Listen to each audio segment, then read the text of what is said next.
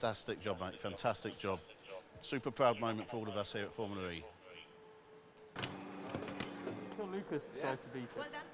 Thank you, thank you. Well done, mate.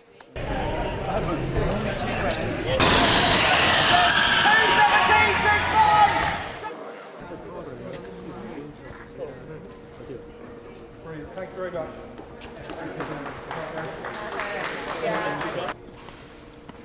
It feels absolutely incredible to be the world indoor land speed record holder. Honestly, when I was driving down here tonight, I didn't quite realise um, how much it would mean. And I think, yeah, going up against Lucas was obviously a bit of a, a second element to it. And uh, yeah, when I saw him doing the, his, his runs, I really felt like I actually really wanted it. So I was buzzing, honestly, to be told afterwards that, um, or to see actually, you know, behind me on the boards that it's, uh, I, I have the record. It's um, something I'll cherish forever, I think.